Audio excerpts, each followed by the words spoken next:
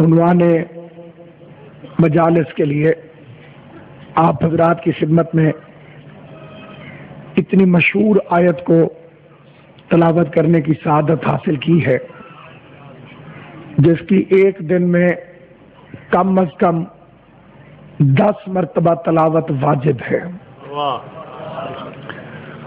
क्योंकि नमाज़ हर मोमिन पर वाजिब है और नमाज़ सूरह फातिहा के बगैर नहीं हो सकती। मासूम का फरमान है कि ला सलातुन इल्ला बेफातिहा कि जो सूरह अलहमद नहीं पढ़ता, उसकी नमाज़ नहीं है। अब पहला झगड़ा और इख्तलाफ ये है, मुसलमान अपनी जिद और हट धर्मी के तहत शिया अली पर यह इल्ज़ाम लगाते हैं कि शिया इस कुरान को नहीं मानते।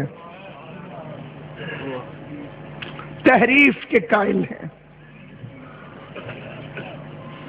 हालाँकि सितारे छपे हुए होते हैं, छुपे हुए नहीं होते। शर्क से लेके गर्ब तक सरा से लेके सुरैया तक, वो बस्ती नहीं जिसमें अली के शियों के घर न हो। और अली के शियों का वो घर नहीं जिसमें कुरान न हो। पूरी कायनात में कुरान मजीद पर जितना अली के शियों का ईमान है इतना कायनात में किसी का नहीं। बे से शुरू हुआ सीन पे खत्म हो गया, बिस्मिल्लाह की बे से शुरू हुआ बननास की सीन पर खत्म हो गया। बे और सीन बस। बार शरीफ बे और सीन बस। ये कुरान है। और सही बुखारी के अंदर ये रिवायत है। अब्दुल्ला इबन मसूद से। तीसरी जल्द सही बुखारी की।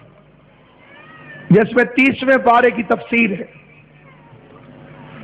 कि कोल आउज बेरबिल फलक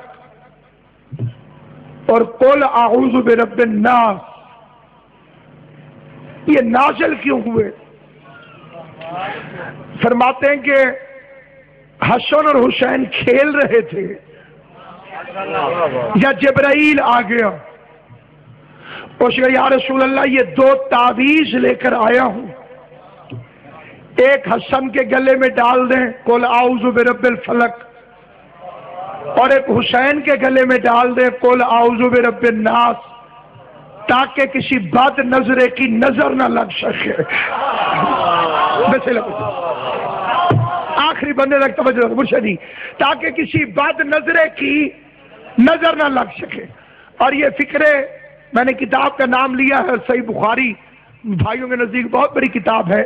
उसके अंदर ये फ़िक्र लिखे हुए हैं कि अब्दुल्ला इबन मसूद रज़ी अल्लाह तु फरमाते हैं कि मुसलमानों ने हसनैन के तावीज को बरकत के तौर पर कुरान के आखिर में लिखना शुरू कर दिया। ताकि कुरान में बरकत आ जाए। तवज्जो है या नहीं यानी दुनिया कुरान से बरकत हासिल करती है कुरान हसन हुसैन के ताबीज से बरकत हासिल करता है।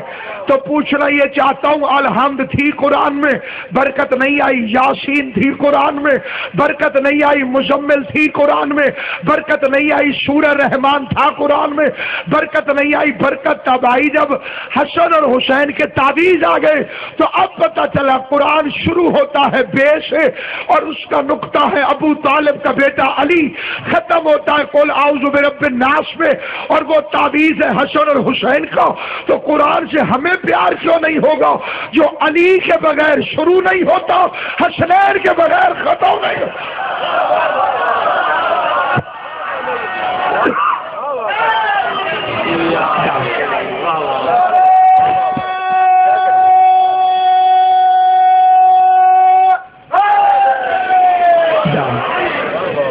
कि यह बात भी तय है कि इस कुरान में बजाहिर कई चीज़ें नहीं है। बजाहिर का लफ्ज मैंने बड़ी एहतियात से अर्ज़ किया। बजाहिर कई चीज़ें नहीं है। मसलन, आवाज़ नहीं है। बोलता नहीं। एक होती है किताब, एक होता है उस्ताद। नालायक तालब इल्म को किताब से प्यार होता है। बोलना जबान से जिसे बात समझ में आए। जितना तालब इल्म नालायक होगा, किताब से मोहब्बत होगी, उस्ताद से दुश्मनी। इसलिए जो कायनात का सबसे बड़ा जाहिल था उसने सबसे बड़े उस्ताद से कह दिया हमें किताब काफ़ी है।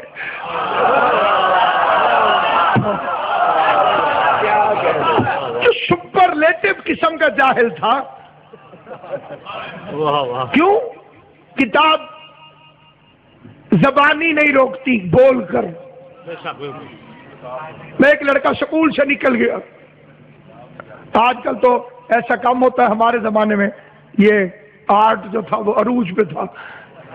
घर वालों को पता है कि स्कूल गए हुए हैं। बस्ता लिया और आवारा लड़कों के साथ निकल गए। फिर बस्ते को टांग दिया दरख्त पे नीचे गुल्ली डंडा खेलने लगा। किताबें किसी को रोकती नहीं। अगर उस्ताद देख ले तो वो मारता था। इसलिए उस्ताद से नफरत किताब से मोहब्बत। किताब से मोहब्बत इल्म की वजह से नहीं है। किताब कहाँ काफ़ी है? तो इतना बेवकूफाना फिक्रा है। अगर किताब काफ़ी होती तो ट्रैफ़िक कंट्रोल के लिए वार्डन क्यों खड़े होते? कानून की किताबें पकड़ो, चौकों पे रख दो। फिर किसी का चालान करके दिखाए किताब। अदालत में जज बिठाने ज़रूरी है क्या? कानून की किताबें मेज पे रख दो। उनसे कहो कि मुजरिम हाजिर है। समाज फरमाए, किताब सुनती है, बोलती नहीं। लेकिन उसके बावजूद पूरे मुसलमान मानते हैं कि मुश्किल कुशा है। मुसीबत में तलावत करो, मुश्किल हल हो जाती है। गिरतों को थाम लेता है कुरान अंधों को रास्ता दिखा देता है। तो हम इस मिंबर से, हुसैन के वास्ते से पूरे मुसलमानों से पूछते हैं कि जब ना बोलने वाली में इतनी ताकत है तो बोलने वाले कुरानों में कितनी ताकत है?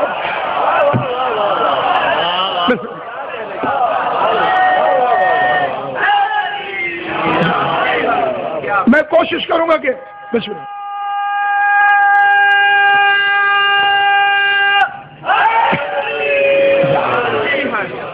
देखिए, ये जो कुरान है, ये है सामित। इसे सारे मान लेते हैं। मैं तर्जमा करूँगा तो कई बंदों को, हो सकता है थोड़ा सा गुस्सा आ सकता है, लेकिन तर्जमा बिल्कुल सही करूँगा। सामित का मतलब है गुंगा। क्या गुंगा, इसका मतलब सुमन आगे ना पढ़े ना, बस ये सुमन से काम हो जाएगा।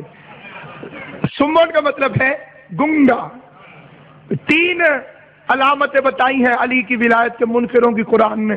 सुमन, बुकमन उमयुन गुंगे हैं, अंधे हैं बहरे हैं। ये गदीर के मुनकरों के लिए आयत आई है। नबी बाजू पकड़ के दिखा रहा था अंधे न होते तो अली और वलीउल्लाह पहुँच लेते।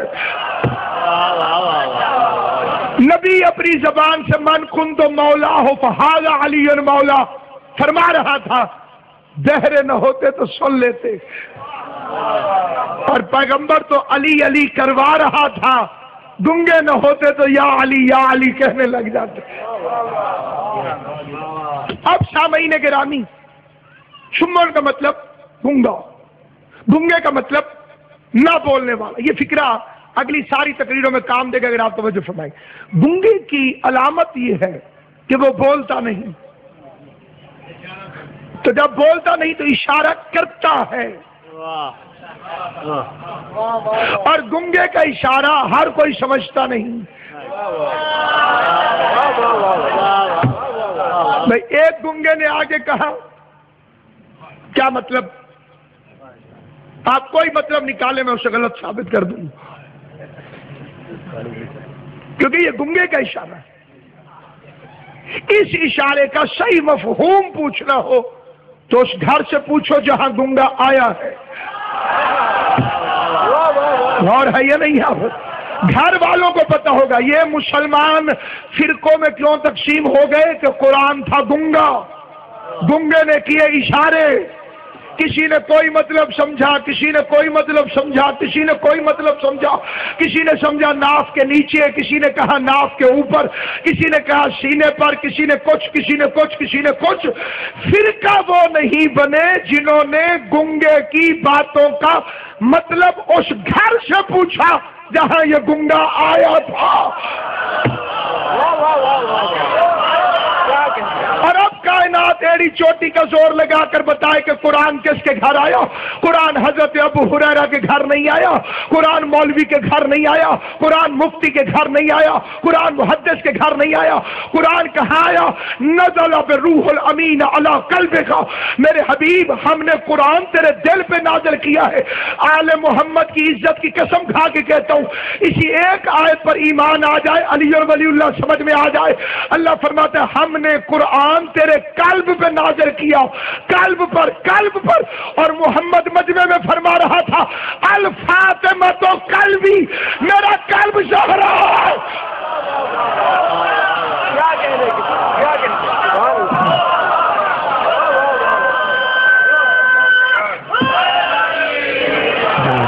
ये जो मेरा दिल है फातिमा जहरा है। फातिमा को छोड़ोगे जैसे ने अपने हाथों से जन्नत और जहन्नम बांटनी हो। ये कारी जहन्नम में जाएगा। कंबर और हैरान हो गए। इतना डूब के कुरान पढ़ रहा है। जाएगा जहन्नम में। कंबर ने देखिए कंबर को भी छोटा ना समझना। बादशाहों का नौकर है। हमारा सरदार है। जो फिक्रे कहे वो हमें समझाने के लिए तशरी के लिए। तो जैसे बकरियों वाला मैं करता है। उसकी ये बोली नहीं है। लेकिन अगलों को वही समझ आती है। इसलिए तो मेरे साथ में इमाम का फरमान है कि हम बशर के रूप में इसलिए आए ताकि तुम हमें देख सको। सलामत आबाद उशाद हुसैन की अम्मा ये मार्फत सलामत रखे। हम इस लिबास में इसलिए आए ताकि तुम हमें देख सको। हम अगर असली रूप में आ जाते तो जिबरील को भी नज़र ना आते। जिबरील की भी ज़रूरत नहीं थी कहीं इन्हें देख सके। तब कंबर ने भी हमें समझाने की खातिर पूछा, है मौला, आप इसे जानते हैं? मौला ने फरमाया, आज मैंने इसकी आवाज़ तीसरी दफ़ा सुनी है। अच्छा मौला, दो दफ़ा पहले कहा सुनी? फरमा आलम अलस्त में। जब अल्लाह ने रूहों से खिताब करके पूछा, तौहीद को मानोगे? जिस जिसने हाँ कही, इसकी आवाज़ उनमें भी शामिल थी। या अली तेरा अंत कौन समझे? अली, तेरी हकीकत कौन पहचाने? वाकई ये बंदों का काम ही नहीं था कि तुझे पहचाने। इतना सारा मजमा बोल रहा, मुझे क्या पता कौन बोल रहा है, कौन चुप कर गया। आदम से कयामत तक की मखलूक में अली उसकी आवाज़ को पहचान रहे हर एक की आवाज़ को अलहदा अलहदा। अली पहचान रहे थे। इसने इकरार किया था तौहीद को? मैंने सुना था। फिर रसूल की रिसालत का पूछा। तब भी ये बोला था। और जब अल्लाह ने मेरी विलायत का पूछा, छोटी क्लासें पहले पूछी जाती हैं। और है या नहीं? है प्राइमरी पहले है मिडिल पहले है, फिर मैट्रिक पहले है इंटर एम ए आखिर में। क्योंकि तालीम की इंतहा का नाम है विलायत। ये कई बेवकूफ़ हमसे कहते अल्लाह अल्लाह क्यों नहीं करते? अली अली क्यों करते हो? पक्की बात ऐसे ही है। मैं क्यों मुकरू जी? बातें हम अल्लाह अल्लाह से ज़्यादा अली अली करते। एक बंदे ने मुझसे पूछा अल्लाह साहब, आप कितने पढ़े हुए? मैंने कहा, जी, मैंने एम ए किए उसका मैट्रिक नहीं की तो बड़ा बेवकूफ़ आदमी है। जब एम ए कह दिया, इसमें मैट्रिक भी आ गया, इसमें बी ए भी आ गया। जब अली कह दिया, इसमें अल्लाह भी आ गया, इसमें मुस्तफ़ा भी आ आई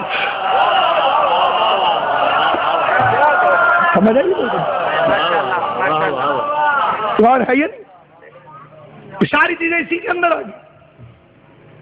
मैंने अल्लाह अल्लाह करने वाले तो अली के मुनकर देखे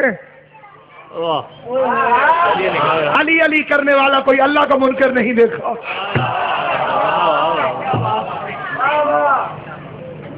जब अल्लाह ने मेरी विलायत का पूछा, चुप कर गया।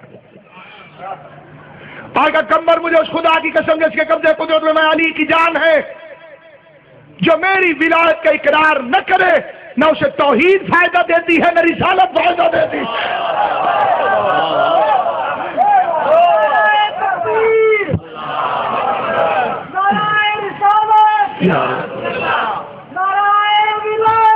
अली वलीयुल्लाह।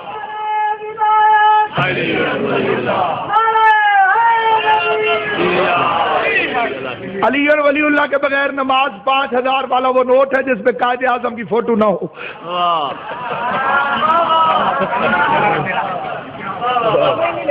हाँ जी अली और वलीउल्लाह नहीं है तो नमाज़ बिल्कुल ऐसे है, जैसे नोट तो हो जी, पाँच हज़ार का, लेकिन उसमें कायद आज़म की फ़ोटो ना फिर उस पर लिख देना चाहिए ईद मुबारक। ये नोट तेरा दुनिया के बाज़ार में नहीं चलता आखिरत के बाज़ार में कैसे चल जाए? कोई सुने न सुने कोई राज़ी हो नाराज़ हो अब्बास के अलम की कसम खा के कहता हूँ जिस करेंसी पे जन्नत मिलती है उसका नाम है विलायत अली जबना अबी तौहिब आजकल क्योंकि धोखा मंडी बड़ी चल पड़ी है सख्त किस्म की धोखा मंडी बंदे शिया कहलवा के विलायत के मुनकर ऐसे तो अच्छा है कि शिया ही ना कहलवाए मैंने बंदे से पूछा, कलमा सुना, उसने ला इलाहा इल्लल्लाह मोहम्मद रसूलुल्लाह। ठीक बंदा चुप कर गया। जी, कोई नहीं, मारो ना कोई। अल्लाह मदर समझादी साहब फरमाते थे, बच्चा मिंबर के पास शरारते करे, परेशान नहीं होना चाहिए। डर उस वक्त से जब कोई बुद्धा मिंबर के पास आकर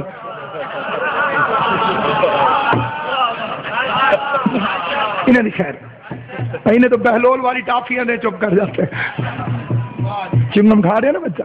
काट क्या है कर काम तुझे। ये तो मुक्ति नहीं। छह महीने ग्रामी। चले मैं इंसाफ आप पे छोड़ता हूँ। मैं आपको जज बनाता हूँ थोड़ी देर के लिए। फैसला करते वक्त इंसाफ से काम ना लेने वाले से अल्लाह पूछेगा। औखा काम है गाड़ी जी मिला रहे मैंने कहा कलमा सुनाओ उसने कहा ला इल्लल्लाह मोहम्मद रसूलुल्लाह। चुप कर गया कलमा तो है लेकिन शियों वाला नहीं। बिल्कुल। तो चुप हो क्या ख्याल है। शिया वाला कलमा वो कब होगा? जब वो कहेगा अली वलीउल्लाह काबर तक में कयामत के दिन भी जो बंदा दिल में मुकर गया, हजूर के सामने उसका गिरेबान पकड़ के कहूँगा, अल्लाह था, तूने शियों वाला कलमा नहीं माना। रसूल की गवाही थी, तूने शियों वाला कलमा नहीं माना। यहाँ तक तो बंदे बड़े समझदार हैं। फिर मैं आजान सुनवाने ले गया। मैंने कहा शाह अन्ना मोहम्मद रसूलुल्लाह। हय्या सला हय्या सला वाली था इसमें क्या नहीं? है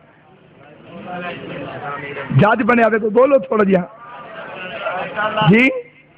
फिर जलूस करने पैने तो हम जी। क्या नहीं पढ़ा इसमें? बच्चे परेशान नहीं होना, बिल्कुल नहीं। अली वली नहीं पढ़ा आपने कहा ये शियों की अजान नहीं। सर पे कुरान रख। न नासिर अब्बास है तुम्हारी कब्र में आना, ना तुमने नासिर अब्बास की कब्र में। मुहर्रम हुसैन का है, दरबार जहरा का है। बिस्तर पे सोने से पहले अपनी जमीर की अदालत से पूछ तो सही, किस मौलवी के चक्कर में आके तो अली और वलीउल्लाह से इनकार कर रहा है? जिस कलमे में अली और वलीउल्लाह नहीं, उसे तो शियों वाला कलमा नहीं मानता। जिस आजान में अली और वलीउल्लाह नहीं, उसे शियों वाली अजान नहीं मानता। तो जिस नमाज़ में अली और वलीउल्लाह नहीं, वो शियों वाली नमाज़ कैसे हो?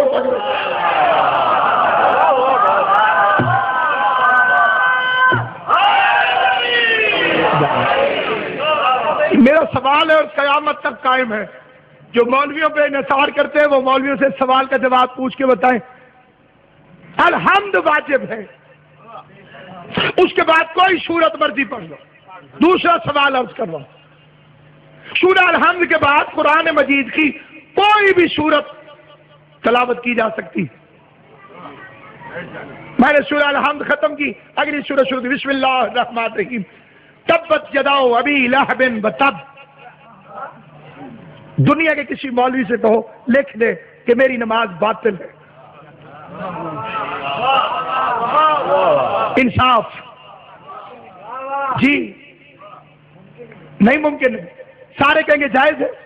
फिर उसे एक सवाल ज़रूर पूछना कि ये कौन सी नमाज़ है जो अबू लहब के नाम से तो टूटती नहीं और अली के नाम से टूट जाती है?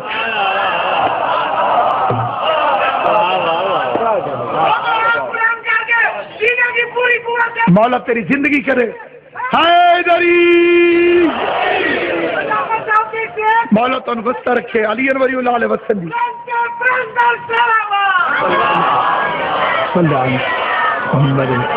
अब ये नारा हैदरी से हलाली हरामी की पहचान नहीं होती। ये मैंने कई मुनाफकों को भी लगाते देखा।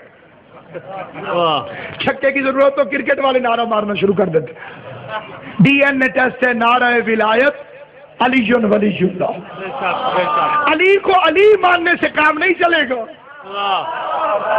मोहम्मद को मोहम्मद तो अबू जहल भी मानता था। बोलना जबान सदी से दबाने वाला भी किबला मोहम्मद को मोहम्मद को अबू लहब भी मानता था अबू जहल भी मानता था। क्या नहीं मानता था? मोहम्मद रसूलुल्लाह नहीं मानता था। पता चला जात मानने से काम नहीं चलता। जब तक ओहदे को तस्लीम न किया जाए।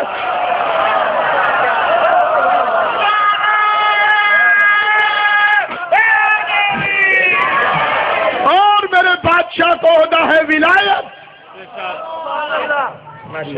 अली को अली मानने से काम नहीं चलेगा। अली युन वलीजुल्लाह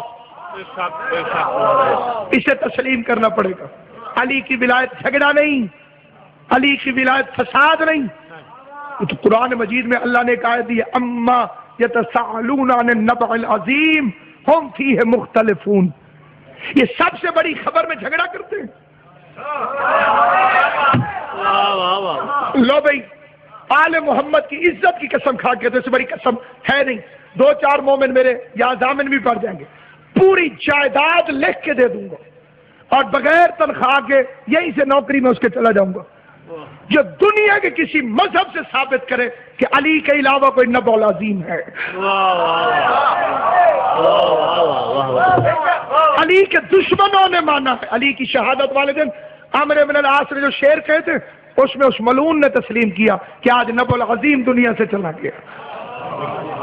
झगड़ा भी अली की विलायत में। और फिर दीदा दलेरी ये कि जो करे उसे फसादी समझ दो। मशवरा है मिन्नत नहीं अली की विलायत को कभी न छोड़ना। अगर अली की विलायत पास नहीं फिर लाख पता जाती भी। क्योंकि इजराइल भी हमारा पीर भाई है। और उससे भी अल्लाह ने ये जो रूह कब्ज करने वाली ताकत है कि लम्बे में पूरी दुनिया में चला जाता है, अली की विलायत के इकरार के बाद अता की। जेरे बंदे फ्यूज हो गए अल्लाह रहम करे थी इंशाला